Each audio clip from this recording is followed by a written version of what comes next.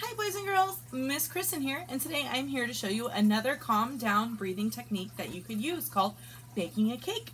The first thing we want to do is grab our bowl, and then we're going to add our ingredients in the bowl. We need some flour, some sugar, maybe some chocolate chips, and then I like raisins. Let's put some raisins in it.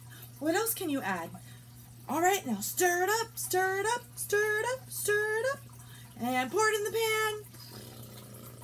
All right, let's put that pan in the oven and set the timer.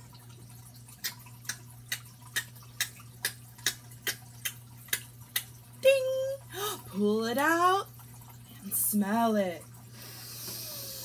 Mmm. Oh, it's hot. Let's smell it again. Mmm, oh, it's hot.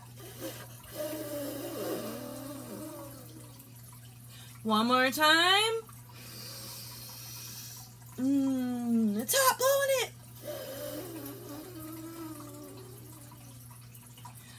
Ah, delicious.